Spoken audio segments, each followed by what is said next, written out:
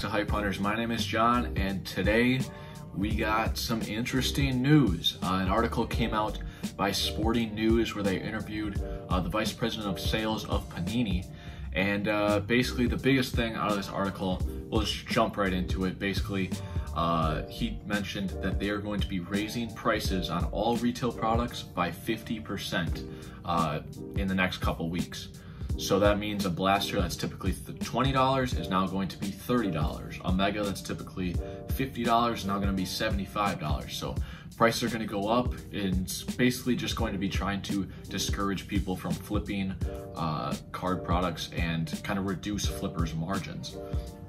But what does this mean for sealed product? I would assume that a lot of these prices are going to start increasing as flippers are just going to be like, I need to make more money off my product than random random stuff like that. So very unnecessary, but it's in my opinion, I feel like it is going to eventually hurt uh, the real collector who wants to open all the product or keep it sealed like myself. So uh, it's an interesting play that they're going to do, but I think it's going to discourage the person who is mainly just in it to flip product and maybe they see that their margins aren't going to be as good anymore and they uh, discourage a few people, but I think the vast majority of people are still going to be interested in this product. So another thing that they brought up in this article was the fact that Target is currently closed. They aren't selling any more retail product. They are going to start pushing out Pokemon products here in the next 10 to 14 days, they said, and just like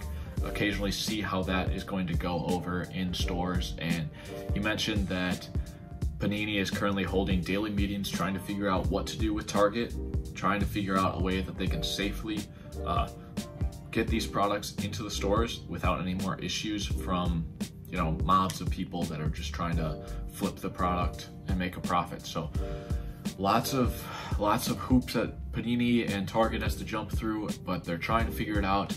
It, it definitely sounds like Target will uh, be ending their suspension of sports cards relatively soon probably in the next couple weeks we'll start seeing more sports cards rolling out.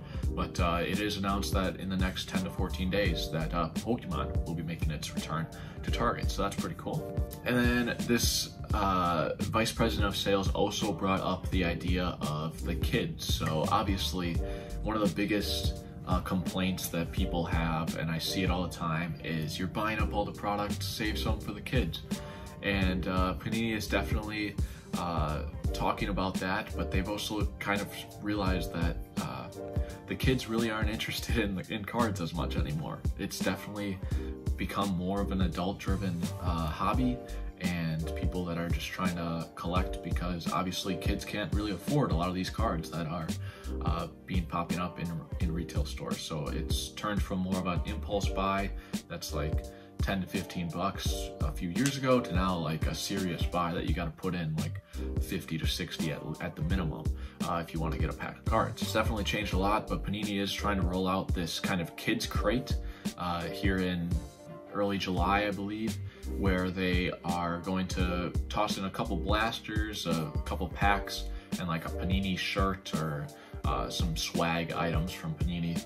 So, and those are only going to be sold at hobby stores for $50 a piece and sold to people who are on, uh, 14 years old or younger. So that's kind of their way to limit flippers from getting into the pro getting into the product where they uh, only really sell to kids and keep the price at a at a relatively minimum uh, amount at $50 because obviously kids parents aren't going to want to drop a lot of money on cards and when they don't realize how expensive all these products are.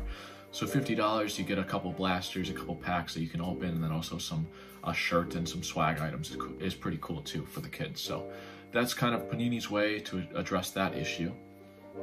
So Panini is also trying to address this issue of supply versus demand. So obviously the supply is I mean, it's it's relatively high, but since it's all being bought up, and the demand is just way too high for the supply.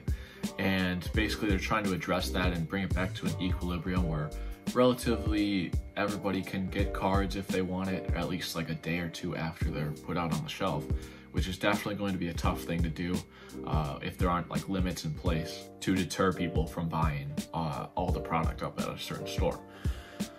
But they are definitely trying to print out print a little bit more product and we're kind of seeing that now with select. Select is being printed to the moon basically and it is one of their most popular sets so it makes sense. But uh, blasters are popping out all over the place. Megas are popping out all over the place. So they're definitely printing a lot more than a typical product line would go. When we saw Optic come out, Optic football back in February or March, we saw blasters one week, hangers one week, megas one week, and then it was done. Didn't see any more product. Select, we've been seeing it for over a month now, still popping up in large quantities. So they're definitely trying to print a lot more product, but they also are trying to avoid the junk wax era of the mid 90s. And a lot of people I've been hearing toss that word around, junk wax era. I, I personally don't think that that is where we're at currently, basically because uh, Panini is one of the only exclusive rights holders to a lot of these products in the NFL and uh, NBA. So it's definitely tough for that for a junk wax era to happen when there's only one company that really controls the market. Uh, in the 90s, there were like six to seven different companies all pushing a ton of new product into the market. So with only Panini really being the main player, uh, it's a little tough to have that happen unless they just print to the moon, which they definitely could, but that is something that he mentioned they're trying to avoid. So trying to find that equilibrium of supply and demand where it doesn't cost an incredible amount to get product anymore.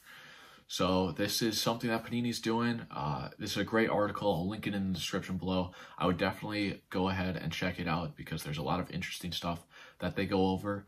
Um, but yeah, let me know what your thoughts are on these new little increases in price. Is that going to deter people from jumping into the hobby? Is this going to protect the common collector from uh, not having to pay incredible amounts for all these products? So let me know what your thoughts are on this entire article, what, what I've mentioned here today. But uh, yeah, this has been John, Hype Hunters. See you guys